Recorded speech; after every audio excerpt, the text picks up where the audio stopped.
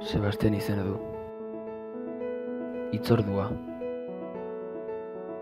Ez da lagun asko dituen morroia.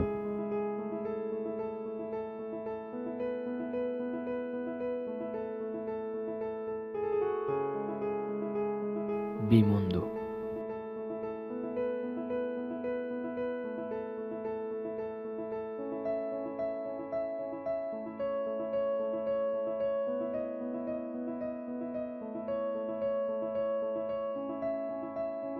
Virtuala.